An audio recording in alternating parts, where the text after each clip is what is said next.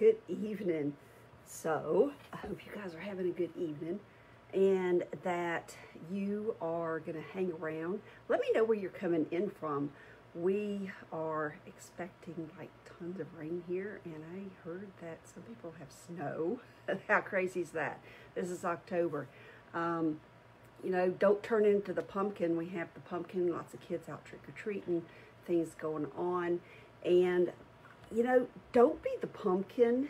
I'm going to stay with me on this, right? For those of you that don't know me, I'm Beth Bolus.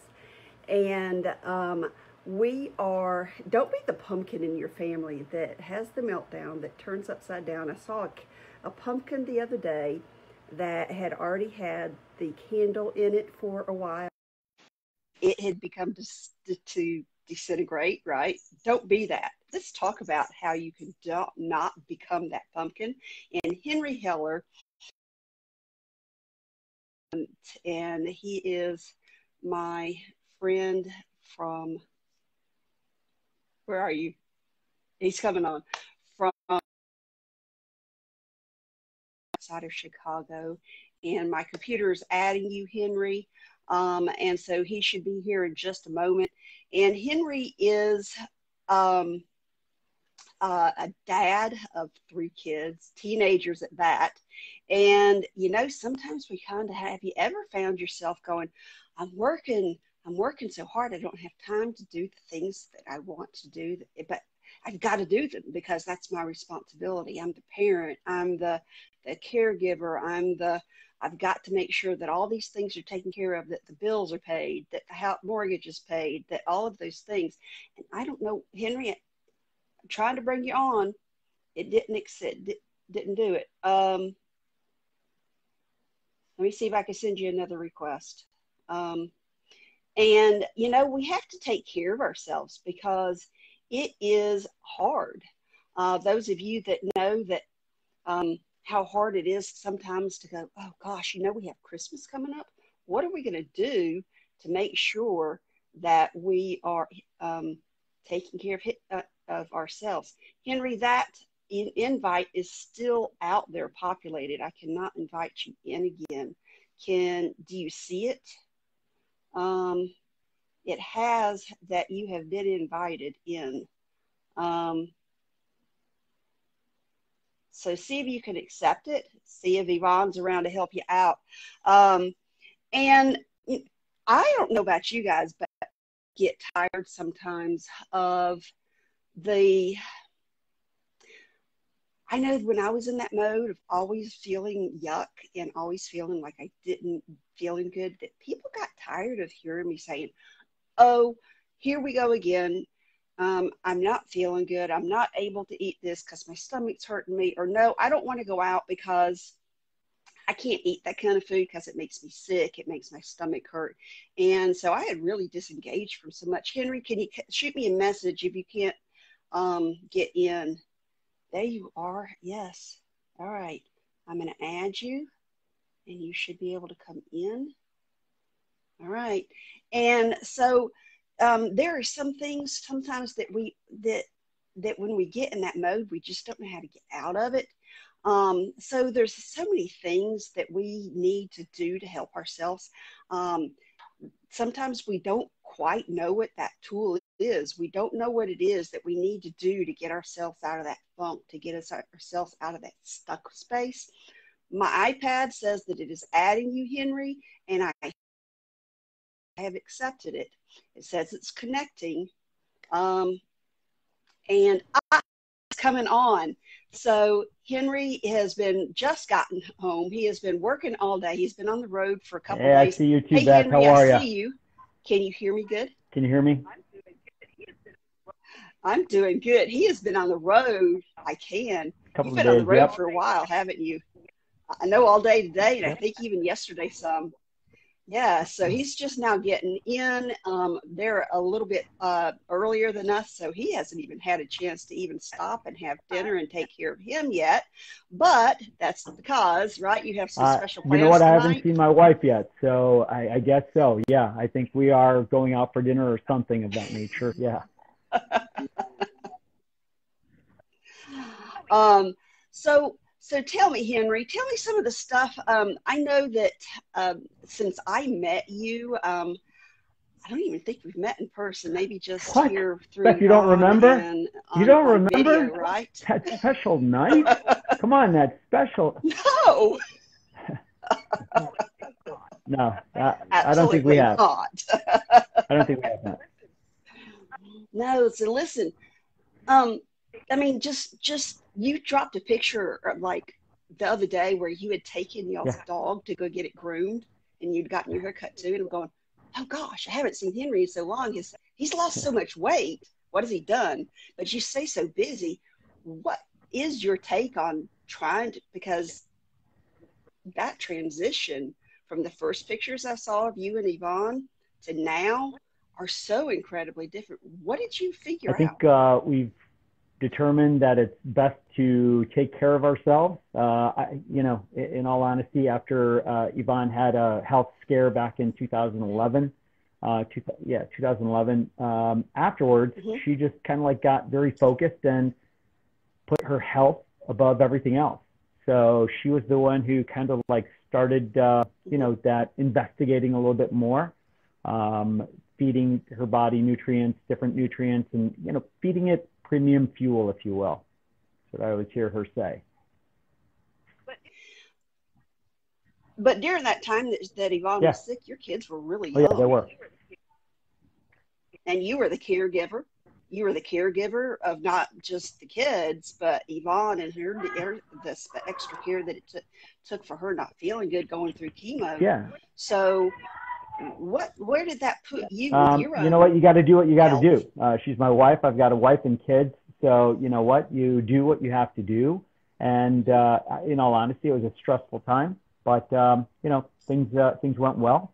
Um, yeah that's uh, just had to take care of what needed to be taken care of which is you know yvonne the kids going to school lunches uh, just pretty much anything and everything. Still, I had, uh, you know, bills to pay. Very concentrated, if you will, with tasks, um, work, just a whole bunch of things that needed to be done.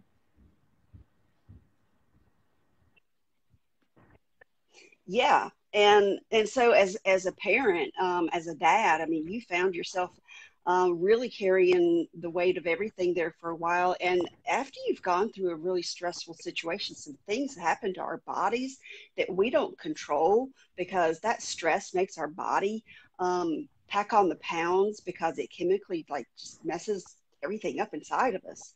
Um, and sometimes that takes a little while to kind of get straightened out. And I know you've talked to some of your friends, um, some of your men friends about taking care of themselves. And you had something happen just this past week. Share a little bit about that. That kind of made you kind of go, whoa, you know, I really need to talk to some more. Well, I mean, some more men. excuse me, promise it's not COVID. Um, but uh, no, I, so unfortunately, um, I got some pretty uh, sad news earlier in the week um, Yvonne came home and then she was like, Did you hear who passed away? Or did you hear the news? And I was like, You know, no. And at that point in time, I'm just kind of like, you know, things are racing through my my mind. You know, did I hear the news? What is it? And um, you know what? Unfortunately, uh, one of my buddies, he's three years older than me, somebody that I used to work with, um, passed away of a massive heart attack and um, it was just very surreal because he's 50 he was 59 years old. And uh, you know what? His dad passed away young and you know just uh, it was just very surreal. And coincidentally i spoke to him you know a couple of years back about you know so i'm a thriver right? I take thrive simple steps one two three the capsules in the morning the drink and then also the uh, the patch so I spoke to him about that, and he was like, "Oh, you know what? I'm I'm good. I'm good," and all of that stuff. And you know what? In fact, the reality is is that uh, he lost a lot of weight. He got on one of those diets um, that basically mm-hmm. just in my opinion, aren't the best for you. He lost the weight, but the quality of food that he was eating, you know, just was uh, was not the best, you know. So he was eating the meat, the bacon, eggs, all of that stuff. But you know, again, and he did lose weight. He did lose weight, but again, he just uh, died of that uh, massive heart attack. So when she told me, when my wife told me about that, it was like just uh, it was very surreal. I can only imagine his wife and kids. That's the only thing that keeps on popping up into my head is how how they're feeling. You know, 59 years old. It's not that old. How many of you? How many of you have lost a loved one, a friend, um, somebody in your family, a, a coworker at a very young young age? I mean, um, our life expectancy has gotten so much longer. I mean, the life expectancy for a man is different than what it was 10, 15 years ago. Um, I mean, so if you've experienced a loss like that, let us know down below. Um, there are some things that, that you can do. It's just not what's in the genetics. There are things that that um, as in my family history and knowing what my family history is, I'm fortunate to know um, that there are certain things that I needed to make sure that I combat, and there are certain ways. And yeah, I tried. Probably know what you talking about is that keto diet is probably what your friend tried. Um, and you know that that's good, you know, for jump starting things, but you got to know the longevity of what what it does to your system. Um, and you know the simplicity of those three steps that you men- mentioned that you implemented that yvonne tacked you onto and said, Hey, Henry, you need to do this. Um, tell me a little bit about your experience when you started with those capsules and that lifestyle mix and and that that sticker on your arm. What in the world happened to you on that on that those that that first couple weeks there that day, um, one, day three, one three and 10 um, were for me beth it happened on like the second week. That's when i kind of like noticed things. Um, I honestly wasn't really giving it a lot of, um, I wasn't paying it the, um, the homage, if you will, about, you know, like giving it credit. Um, because the first few days and stuff like that, I, I did notice that I was a little bit more productive. My uh, mental clarity uh, was there much better, uh, more focused, and able to achieve things a little bit better. Um, so I wasn't really kind of giving it any credit. But then after the second week, I did realize, you know, I wake up, jump in the shower, and in the shower, and that's to get in a little personal here, but you know what? I, I clean my whole body and I also shave and I brush my teeth in the shower. So I'm in there for a while. But while all of this stuff is happening, I'm thinking about, you know, appointments proposals, different things that I have to do throughout the day. So I'm kind of like already categorizing, knowing what I have to do. So when I get out of that shower, I mean, boom, I'm off to the races. So that second week is when I kind of like mm-hmm. caught myself um, and recognizing that that's what I was doing. So, and that's what I really gave Thrive credit for, for that mental clarity, that energy, and kind of like lifting up the fog, especially first thing in the morning. So, um, so you're right. You know that mental clarity is is first thing in the morning. Sometimes how much, how many times have you like gotten up beforehand and go, oh, and you just can't get going, and you're in the car realizing you're still half asleep. So after the mental clarity, what were some of the other other things? Now I understand that maybe you didn't even follow directions to well, begin with. Beth, I'm a guy. That's, is that true? I'm a guy. a guy. I'm I mean, a guy. And the thing is that my wife actually started it um, and then she gave me, I think it was like November of 2015, right? She gave me and she told me, hey, take the two capsules, take the drink 20 to 40 minutes afterwards, and slap the patch on, right? Simple, simple instructions. Mm-hmm. But I didn't write them down, didn't think about them or anything like that. I was like, yeah, okay, all right, there. All right, sure, I've got all that stuff. So you know what? I'd wake up, forget to take the capsules, be downstairs, and then I'd see her and she's Are you thriving? And it's like, oh, oh, yeah, yeah. So I'd grab the drink. And so I was just kind of like doing the steps, some of the steps and missing some of the steps, all of that stuff. And uh, afterwards, it was like, you know what, babe, this isn't really doing anything for me. But what she did was she sat me down and she was like, hey, look, do me a favor. Just give me 30 days. That's all I ask. 30 days. Take them the way you're supposed to take them. And if it doesn't work, I promise I will not tell you to do it again. I'll, I will not bug you or anything of that nature. And um, so, you know what? Uh, I love my wife, so I did it. And, you know, again, guys, I'm a stubborn Latin male. you know, for the first week, uh, yeah, I, I, mean, I, first week I wasn't really giving it credit. I was thinking it's just me because that's how guys roll. And then uh, afterwards, I kind of recognized what it was actually doing and helping me pro- be productive. Um, you know, from you know, from a bunch of different angles. I mean, from mental clarity to physical endurance to physical strength. I mean, just helps me kind of like keep on going.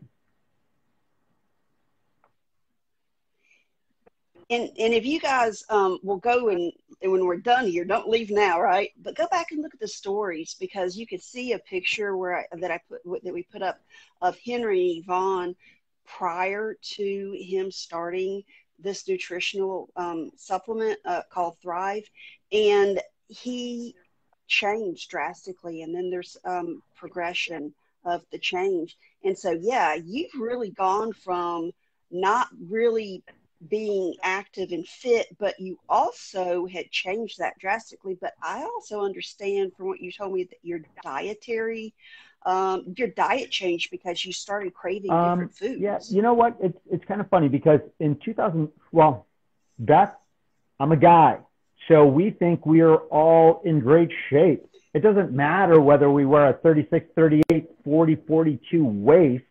I mean, that's what it's supposed to be. You know, that's that's how we justify things. But you know, so in 2015, I was a 36 waist, right? 30, between like a 36 and a 38, right? So as time progressed and I started taking Thrive, I started, you know, doing more exercise. And at that point in time, you know, before I started, I thought I was in good shape. I go play basketball, I do different things. So in my mind, it's like, hey, I'm in great shape. But as time went on, I started taking Thrive. I started playing basketball, uh, um, or I was playing basketball, but I was playing more basketball. I was playing tennis, doing all these different things. But you know what? I had energy to keep on going. Guys that I was playing with were much younger than I was, so they had their endurance was, you know, supposedly better than mine, but I was kind of like keeping up. So mm-hmm. that kind of like helped me. So I did kind of like lose some weight right? And again, I'm thinking, fantastic. I am in great shape. I'm perfect, right? But as time goes on, and you know, so just to give you an idea, my uh, I get a physical every year, which is important in my opinion. So, and I highly recommend that to, for everybody out there. Yeah. Um, and I even had kind of like a heart scan done, something that you can get at your local hospital. In it, uh, it's not that expensive, but it'll give you an idea they'll give you like a percentage of what the probabilities are of you having some sort of a, you know, anyways, not to get into all that medical stuff, but, um, but as time went on, I kind of like noticed that instead of me getting kind of like more tired and having to stop and not being able to play things, you know what? I was actually ramping up. So I was playing more basketball, more tennis, running, just doing all these different things. And then what happened? What happened? What like uh, seven months ago? What happened? What What was the big thing that happened seven months ago? Everybody, everybody stay, started staying at home, raiding the pantry, and eating everything in sight because they were bored to death and didn't know how, what to do with the transition that struck everybody. And still, there's so many people that are stuck because they continue to tip the scale in the wrong direction and not hitting their wellness goals. But well, you know what, Beth, it's kind of like this. If you're going and you're basically uh, heading somewhere, you've got a destination that you've got to go to, and you come up on an obstacle. There's a couple of you got to do think about it in a few different ways. You either go over it, around it, underneath it, or you just try and go right through it, right? But you've got to overcome that obstacle. It's not going to hold you back. And you're right. I hear about so many people gaining so much weight over this COVID thing. And realistically, you know, I can understand them. Um, a lot of the gyms closed down. Everything was kind of like shut. So it's kind of like, okay, fine. Now you're at home. So now you have to work out at home. Well, not everybody has a gym in their house. I'm one of those guys who doesn't. But what did I do? I went out and I got a pull up bar. So I've got a pull up bar. But one thing that I started doing was running more. I was running like two times a week before. And I remember, you know what? I would run like two miles or three miles.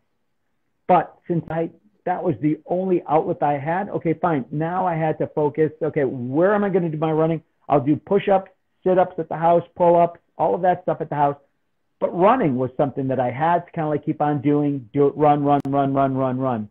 So I went from, you know, two miles to three miles to running like five to seven miles mm-hmm. per time. In fact, like about two weeks ago, I ran 13.11 miles. That's a half marathon.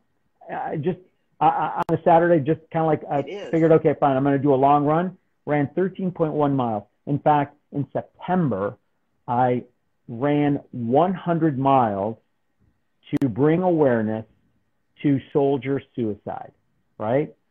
That's one thing that I, so it was kind of like a commitment there. And, you know, everybody says, well, I don't like to run. You know what? I don't think anybody really likes to run, but getting some headphones in there and things. And, and what I can say, Beth, is over the last six months, I lost about like 15 to 20 pounds. Mm-hmm. I'm the lightest I've been in I don't know how long. I was always tipping the scales about like 195.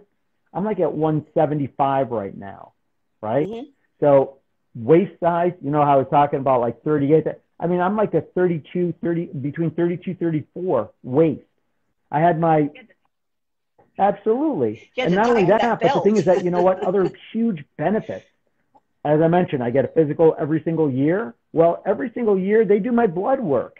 So I can tell you, most most people, you know what, your things yeah, go. I should say the readings and and the the results don't go in a favorable direction, right? Things go higher and higher and higher. Well, in my case, you know what? It actually went down in a good way. So everything was was very right. positive. So I'm in the best shape that I've been in, in a very long time. I'm, I'm pretty psyched. I'm pretty stoked about it. And, and it's, and it's the, the consistency of, um, of, of taking care of yourself that begins every morning with putting in the right nutrition in your body so that you have the energy to uh, that your body is able to absorb everything that's that goes in in an appropriate way so that you can expend it in the right way and i would take a guess correct me if i'm wrong but you were in the military yeah. in your younger years um, but you probably are um, just as fit if not more fit well, than you were in those years um, because you're taking care of and you're eating better. Well, I was, I was pretty young then too, too, but uh, yeah, you know what? I was uh, when I went into the army. I weighed 144 pounds. When I got out, I weighed 165 pounds, but I was, I was in a fantastic shape. But realistically, if you think about it, wow, 30 something years later, well, uh, yeah, 30, almost 40 years later, I mean, I, the difference is 10 pounds, 10 pounds, you know? So, mm-hmm. and, uh, I mean, I, I think, what's that? And Henry, how old are you? How oh, you? um, I'm I'm 56. Can't you tell? Yeah, absolutely. You're 56. What's that. No.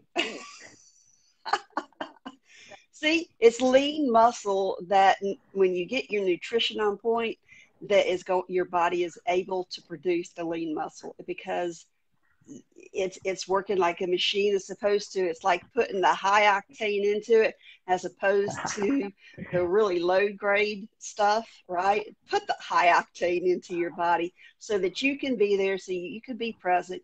And you know what? So that um, Henry's goal, I know, is to stick around as long as he can by taking care of himself because he's got family to take care of.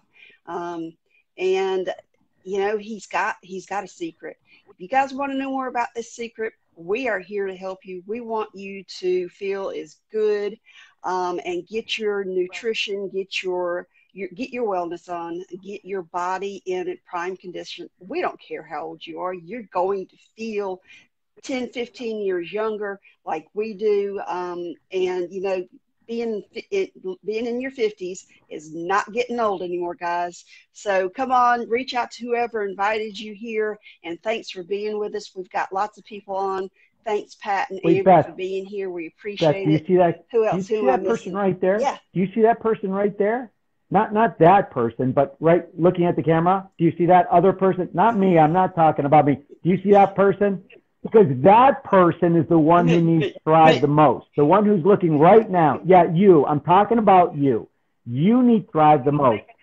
So you want to know something? And you will yeah, make a comment. Absolutely. Make a comment or reach out and things. You know, it, just ask some questions, whatever it is that you want to know. Because in all honesty, so many people, there's so many things going on out there right now. It's, it's not even funny. But realistically, if there's something that can help you, why wouldn't you even check it out? Right? That's right. Let us design a plan for you. Let us coach you into wellness. We are here for you.